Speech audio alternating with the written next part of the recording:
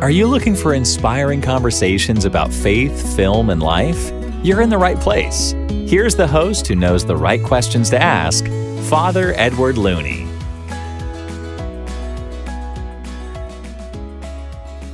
Hey, everybody, it's Father Edward, and I'm delighted to be having a conversation with an author that I've known for a number of years now. We got to know each other through the Catholic Writers Guild. We've been at different Catholic events together, and uh, just, uh, I'm sure, a delightful conversation that we're about to have.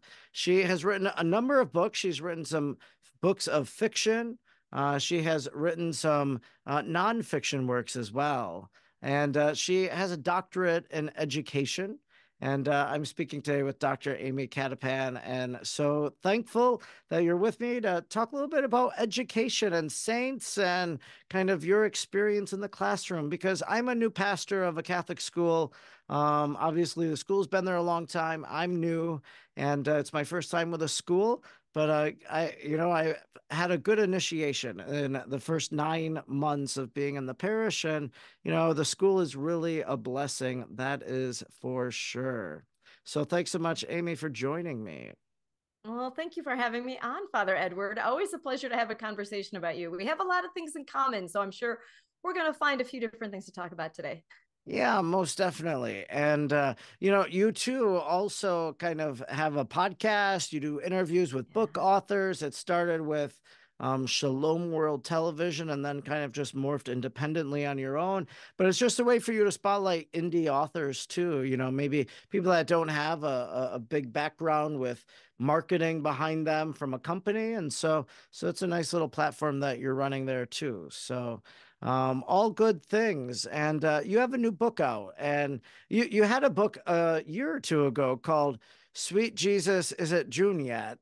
And uh, and so I've been thinking about that because you know it's April and almost April, and when we're recording it will be April when this releases, and uh, we're just going to spring break. And I just have taken on the responsibility of teaching religion for a quarter. So so I will be saying sweet Jesus is at May 20th, you know, because we ended May. So but uh, it'll be good. Uh, looking forward to the challenge and the opportunity and just uh, to you know it's it's great to have that Catholic presence in the classroom and to have you know a clerical presence. I think too, uh, a priest uh, in the classroom. Yeah. So I, I um, think they're very lucky to have you coming in and teaching religion. You're going to get those junior high kids. They're going to keep you on your toes, Father. Yeah, I'm gonna learn a lot, I think. So so tell me, uh tell me the inspiration behind Sweet Jesus Is It June Yet? Like yeah. uh it, it, deals with teacher burnout. And I think people deal with burnout all, you know, in all different careers. Mm-hmm. Uh, that we can take too much on. People would say I take too much on, you know. So, so that. Uh, but why that book, and why did you feel compelled to write that first book for teachers? Well, I have a feeling, Father, that um, there, well, there's a saying in the fiction world that you write the book you want to read, and I feel like in the nonfiction book, you write the book you need to read. So I wrote the book basically out of necessity. I was teaching middle school full time, and I was in the middle of my doctoral program, and I got to about this time of the school year, right before spring break, and I was feeling so burned out from the whole thing. I actually considered um, not finishing my doctoral program. I was so tired of you know teaching all day and then going to classes at night and grading papers in between classes and and having to do my own homework for the program that I thought, oh, do I even finish this? And I decided to do what anyone who's Jesuit educated like I am and is uh, very familiar with Ignatian spirituality, I decided I'm going to go away on retreat and I'm going to pray about this. I'm going to do some good old Ignatian style discernment. So I actually signed up to do a five day silent retreat at a Jesuit retreat house outside of Atlanta. But before I even left, like the week before, I remember sitting down in prayer at home and thinking, okay, I don't know what I'm going to do for five days on a silent retreat. I had done a weekend silent retreat a couple of times, but what am I going to do on this five days? And how am I going to pray for discernment? And in that prayer, I just had a little thought kind of flutter through my mind about writing a book about teaching like Jesus. And I was kind of like, well, what? First of all, what does that mean? Mm. And second, I didn't see myself as a nonfiction writer at that point. I just saw myself as a novelist, you know, writing children's um, and you know, young adult novels. And I thought, well, I guess that gives me something now to pray about on the retreat. Mm. So I went into that five day silent retreat and, you know, I met with a spiritual director and I said, okay, I think my plan is just to read through the Gospel of Mark and read it through the lens of Jesus as a teacher, right? He was called a rabbi because rabbi means teacher. Um, he had his students, the apostles. So, what can I learn from looking at him as a teacher?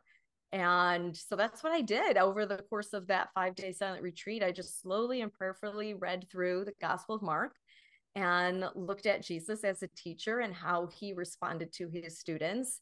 And by the end of that retreat, I actually had a whole outline for what ended up becoming Sweet Jesus Is It June Yet. So it's a very um, rather Ignatian style kind of reflection on the gospel stories, but through a particular lens what can we learn from Jesus as a teacher? Um, and so that one came out a couple of years ago now from Ave Maria Press. So isn't it interesting? You went on a retreat to discern if you wanted to finish your doctoral studies. and you did finish your doctoral study. So yeah. I guess that answer was yes. But then the Lord said, But I want you to do that. And here's another thing. and here you are writing about burnout or something like that. So, uh, so here you are, like all these little projects, right? But, but that's, I guess sometimes the Lord gives those callings to the people that he knows that are ready and willing and able to respond. Right. I'm thinking I have too many projects on my plate. And the Lord's like, and here's another one. yeah. I feel that sometimes, you know, like, because I'll get inspired with like, oh, you know, I should put this in the future things to think about, write about, work on, whatever, you know. So mm-hmm. um, I took like a year off from writing, but I guess I realized in that time though, I finished because I was like you, I had a degree that was outstanding. I had to write the thesis. The problem was I chose my thesis topic like back in 20, uh, 2014. And so mm. I really wasn't interested in the topic anymore. But in 2014, 2015, I had amassed and collected all of the resource, scanned everything. Like I had everything at my disposal. And like for me to like pitch a new topic and to go through that process mm-hmm. and everything like that, it just seemed like too much. And yeah. and I'm like, I just need to sit down. And, and in the meantime, when I was supposed to be writing this thesis, I'd written two books. So so it's like I could have been working on this thesis, but because it wasn't calling my name and I wasn't invested in it, I was financially, but not like in the topic, I guess. But uh, you know, so so I ended up di- finishing the project. It's like you just do that, and then everything else you can, you know, you can do it too. So, um, yeah, I, I guess I understand that. So, what was the topic of your doctoral work then? Oh, that one was engendering empathy for immigrants in middle grade readers through culturally relevant young adult literature. So, again, staying at my roots with, because um, I'm a middle school English teacher, staying at my roots with young adult middle grade books um, and how they can engender empathy. Because we, there's lots of studies out there already that say people who read more tend to be more empathetic because they can imagine themselves in the shoes of lots of different characters. And so I was looking at how reading historical fiction with immigrant characters would affect students who were studying immigration from more of a historical perspective in, say, their social studies class. So I was looking at the reading class component of a multidisciplinary unit that some eighth graders were doing. Yeah, so Sweet Jesus Is It June That was your first te- te- book for teachers. In a sense, mm-hmm. it's kind of like the spirituality of teaching, extracting it from Jesus, encouraging uh, teachers um, to to teach like Jesus. And so, so then you have the second book for teachers that comes out, a Saint Squad for teachers, and um, how did that book come to be? Where was the the germ of inspiration for that? Because again it's kind of like a spirituality book because yeah. we we all need intercessors we need inspiration so we need the saints to inspire us and to intercede for us. So so i'm sure it probably came from your own spiritual life that maybe you're like these are the three saints i've been praying to and then and then maybe it just kind of evolved from there well, once again, it really started from a need. So um, I wrote Sweet Jesus as a junior, like half of it before the pandemic, finished it up during the pan- the early part of the pandemic. And, you know, that was great to have that inspiration. I often went back to it myself during those uh, difficult months. But then as we were even coming out of it, I was still finding teaching very hard, right? There's still a lot of post pandemic challenges, some things related to the pandemic, but some things just in the way our society has evolved or devolved maybe recently with you know the way that we're so polarized and um we're so screen addicted there's still a lot of challenges in the classroom mm. so I, you know i can remember praying maybe a year or so after sweet jesus came out and thinking okay lord you know this is great but i need more and you know the little scene that was playing in my head um, was actually from the old Star Trek episodes because I've got four brothers, three older, one younger. I was exposed to a lot of Star Trek and a lot of Star Wars growing up in the 80s. And um, I could hear that little line that's, you know, often quoted um, where Captain Kirk is, I don't know, asking for the ship to go faster. And the engineer, Scotty, is saying back in his lovely Scottish accent that he's got to have more power, Captain, right? And I kept thinking, Lord, I've got to have more power or grace or something. Like, I, mm. I need more. School's still really hard. The book on Jesus was great, Lord. What else have you got for me? Was kind of my prayer. And what ended up happening was actually a number of books on saints kind of appeared in my life. I was at a Pauline bookstore that we used to have here in Chicago, and I saw a saint devotional book, and then some other saint books started coming up in my life.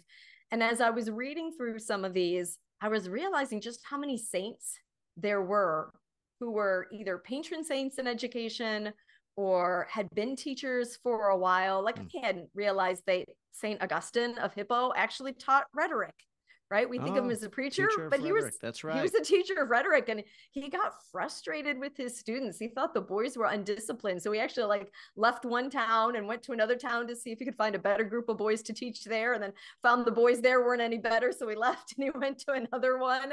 And it was suddenly like some of these saints that I didn't have much of a connection with were suddenly becoming so much more relatable.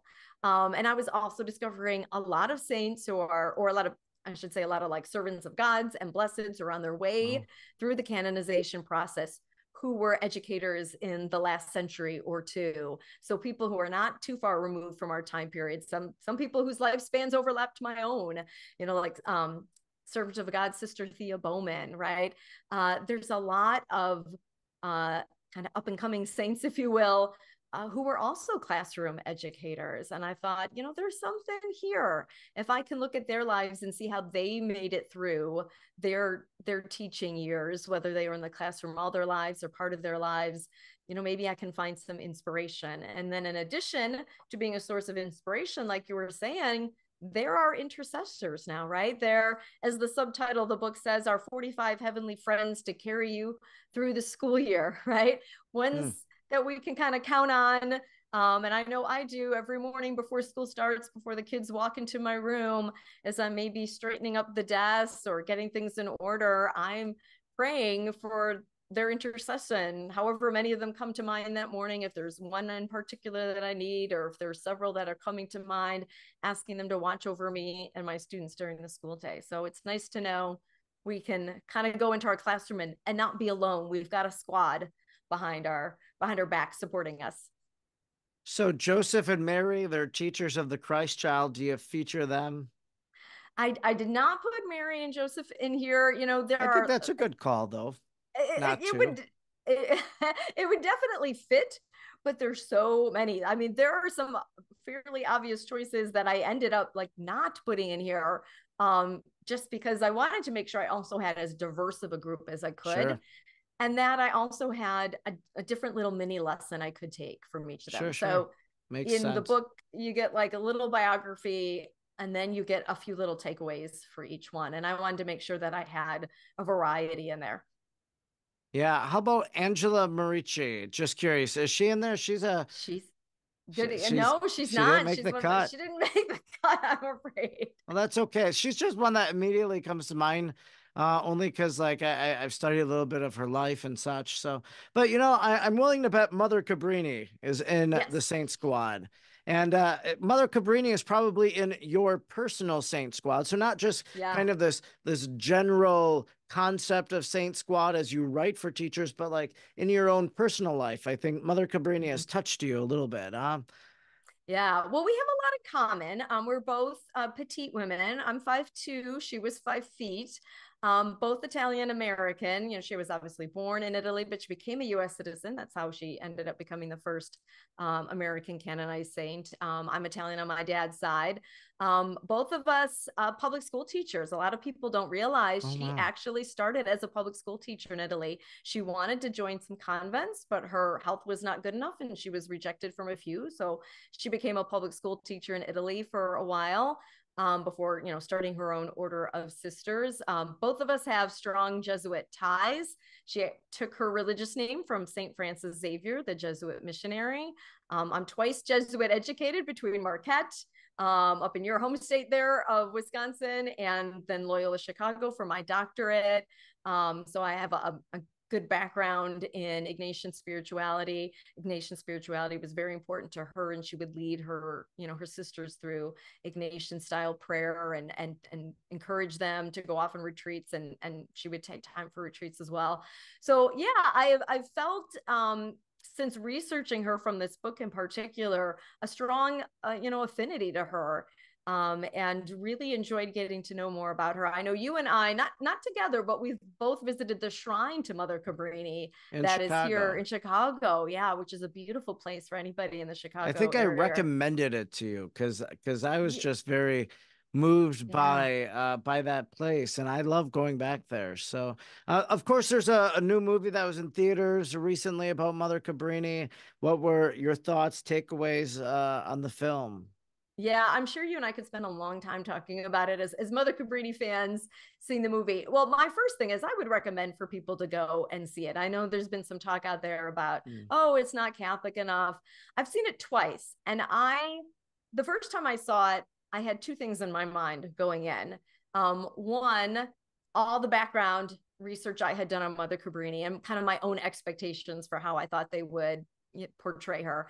And then two, I was seeing it early to write a review for catholicmom.com. So then, you know, you're kind of going in with like your reviewer cap on, right? You're like kind of coming with this mindset of what am I going to say in my review and, and trying to remember everything. And so while I enjoyed it the first time, there were some things I'm like, hmm, course, as a writer who studied Mother Cabrini, I probably would have changed a few things, right? Sure. Um, and the second time, I was able to kind of let go of my preconceived ideas and just enjoy it as as a movie. Um, and the people I saw it with, because I saw it with a priest friend and three women the first time, and then two women friends the second time, and everybody loved it um, and and were inspired by it the thing that like I would have changed probably the most is I would have actually just probably changed a few lines to show what I talk about in my book. So in my book, kind of the angle I'm taking on Mother Cabrini is that she really relied on God's generosity, right? Whenever she wanted to start something new, a new school, a new orphanage, a new hospital, she believed that God would take care of things. Like she would pick out the building she wanted, and her sisters would say, But mother, we don't have the money. That building's too expensive. And she would be like, God's going to provide, the money's going to come, right? When, uh, even before she came to America, when she was in Italy and she wanted to set up a school in Rome um, and to get her order approved, uh, she met with a cardinal, and the cardinal wasn't quite so sure about whether or not she should start a school in Rome. And so he said, ask the Lord for a sign, ask for uh, 500,000 lira to show up, and then we'll take it as a sign that hmm. you should be making a school. And they left from the meeting with the cardinal, and her sisters were nervous again. And she said, Don't worry, the Lord's going to change his heart. And sure enough, when she came back, she was told not to start one, but two schools in the area around Rome. So, oh, wow, see. She, she had, yeah, she just had this trust that the Lord was going to take care of things, right? And you know, there's a couple times in the movie she says something to the effect of, you know, start the mission and the means will come. And I was like, oh, if they just changed that line to start the mission and the Lord will provide the means. Yeah, I'm like, that was the line I, think, I had right in my head. Yeah. Yeah, if they had just changed that little line, I think we would have gotten a little truer sense of her spirituality yeah. in the movie. Sure. Well, what were uh, what it, were your thoughts? uh, I kind of, uh, you know, I have similar thoughts. I thought that we could have portrayed. You know, I really I love the fact that you know you have a non-Catholic company saying we want to tell the story of a Catholic saint. Like there's something there powerful to think about with that. Uh, at the same time, I just really um, I thought if they could have just showed her as a woman of prayer and, and like somehow just exude a bit more Catholic identity in the film. That would have made a a, a great story. It, it, was good cinematically. It was great. Mm-hmm. Yeah, I just thought it was lacking, as you kind of point out a little bit. So, well, but I, I don't deter people from seeing it. I think go yeah. see it, but just just be prepared that this isn't the saint biography you want it to be. Yeah, well, the interesting is the I believe the writer, the uh, producers, like Eduardo Verástegui is one of the producers, the director, um, they're all Catholic, and Angel Studios actually is just the distributor. Yeah. So I don't think they had anything to do with the creation of it, but more just getting it out there, which is what um, is it Alejandro? I think it, yeah, I think it's yeah. it's Alejandro Monteverde who's the um, director. I I know they were like working on this with uh, a producer friend think it's Eustace. Is that his name? Eustace mm, something Worthington, I think is his last name. Um, that they had wanted to do this project for a long, long time, and they kept putting it off because they didn't think they had a situation where they could um, get it really out there in movie theaters. And until they had the success with Sound of Freedom that they had, then they felt yeah. like, okay, now now we can do this movie and we can do it justice. Yeah. And in the interviews I've seen, they've sort of made it clear the movie isn't like Catholics aren't their target audience. They're mm. hoping people who aren't Catholic will go see it um, and then want to go learn more about Mother Cabrini. Yeah.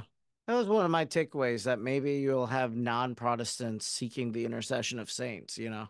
Mm-hmm. So, yeah, you know, it, it, it's the film that's out there, you know, and um, I, I don't think it was as successful as maybe they had hoped or anticipated. Their budget was 50 million, and so far they brought in maybe about 20 million at the box office. Of course, there will be other ways they they recoup expenses and such, but but in terms of the return on investment and the expense, I don't think it, they've met that, you know. But but uh, hopefully, it's a good sign for things to come in the future too. I know Angel Studios was looking at doing something for uh, on a Lutheran theologian named Bonhoeffer. So I think that's mm. coming here in the next year.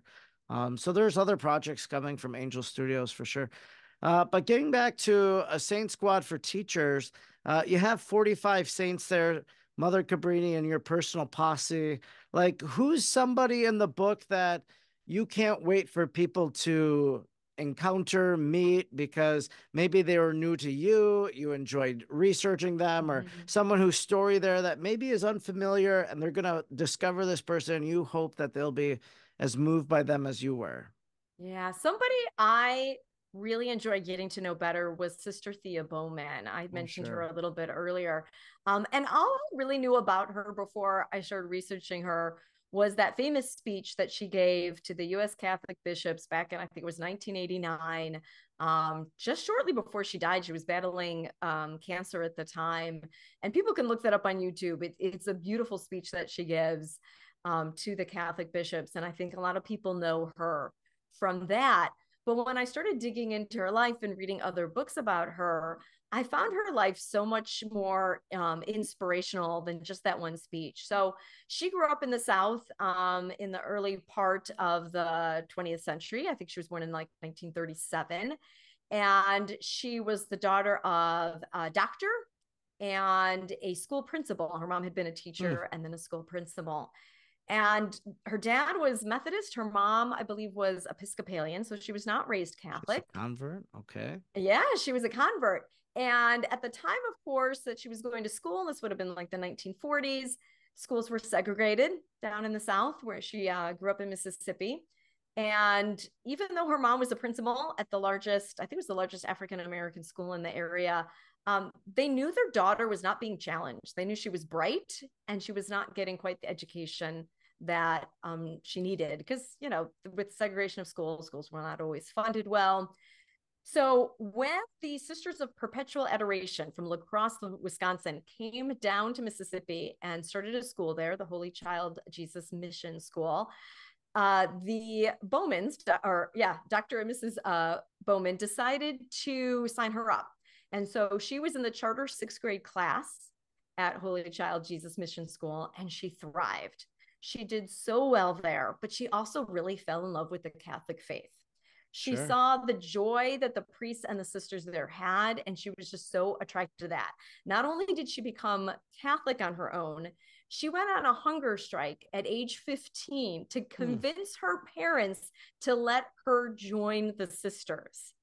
And they were not so you know fond of the idea at first because it meant she was going to have to leave Mississippi as a teenage girl and go up to uh, Wisconsin, go up to La Crosse, Wisconsin, um, to uh, join the to join the order, and that's what she did.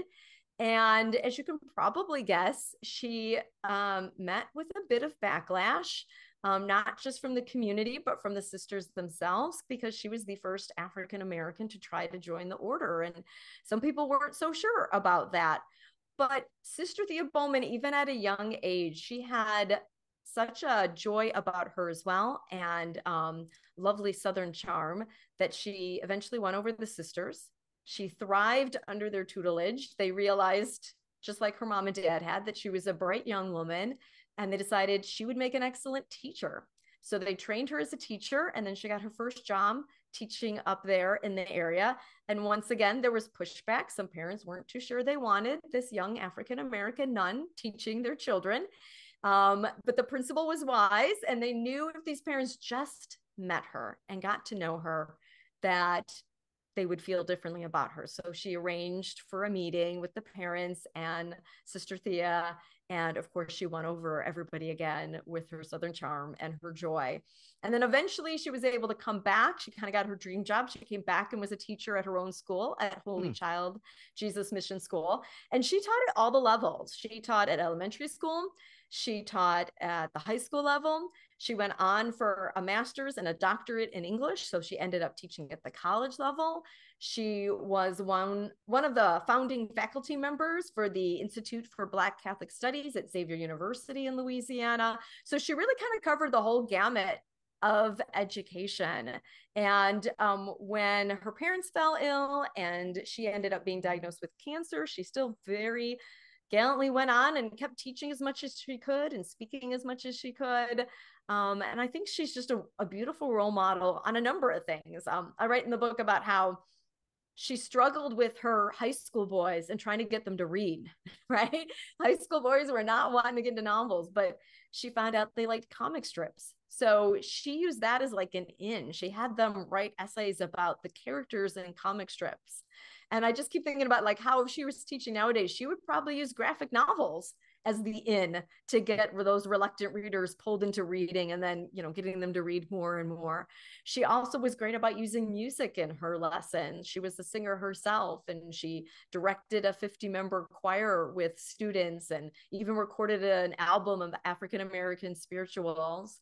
Um, so just the way that she was able to bring such joy and fun into our classroom i think it's a great reminder that we can do the same in our classrooms too. So father when you're teaching religion this quarter you can be thinking about how can you incorporate some music into your lessons?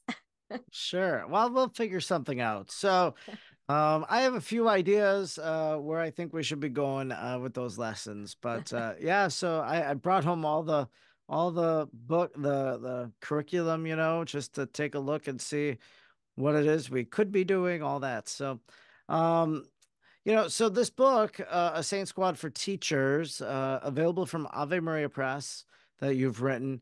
You said mm-hmm. it features 45. We've only talked about two of those people. So is it what what's your intention? Like people could sit down, they read three or four at a time. Is it like set out to be almost like a, a daily devotional for a teacher, like you know, one a day for 45 days? Like what's your vision for for the educator who might pick up this book? Yeah, so there's a couple different ways to tackle it. In fact, um, there's a free um, reader's discussion guide that, if it's not already up on the Ave Maria Press site, I'm sure it will be soon. And in that um, free discussion guide, in case people want to do it as like a book club study or a faculty study, um, I lay out a couple different plans for how people can tackle it. Uh, the book is divided into 10 chapters that are based on themes. So, oh. like, there's saints who used relatable and creative teaching techniques. There's saints who built strong relationships saints who dealt with challenging students, saints who advocated for Seems change. like a book I need. Yeah, yeah. you might find a lot of Saint friends in here. Um, and so with the 10 chapters, you know, if say like a faculty wanted to do it as a faculty book club study, they could do like one chapter uh, a month basically in the school year um, and get it done in the course of a school year. Um, if somebody was doing it on their own, they might want to take just one saint a week and I think I have a plan in there as well where you can kind of break it down into like the 36 weeks of the school year and do just like maybe one or two okay. saints a week. Um, the biographies and the reflections, because with each saint, there's like a biography that's probably a page or two, and then maybe two or three bulleted points afterwards of my reflection of like the takeaways for that one. You know, you could read that in like five minutes in the morning while you're doing your morning prayer and having your cup of coffee or something. If people sure. wanted to break it down into a daily devotional like that too, and then you could be done in about 45 days. well, pastors, principals out there, I think this is a great book uh, maybe for the end of the year, maybe for the beginning of the mm-hmm. year to set the tone for like a spiritual tone. Could be a Christmas gift. There are lots of different ways that a parish could actually gift this book and enrich uh, the lives of the teachers in Catholic education. But also, this is a book meant for teachers in public schools, right? Like yeah. they need inspiration, they need intercessors, they need heavenly help, and they can turn Absolutely. to these people too. So, yeah, um, also, yeah, there's a uh, lot there.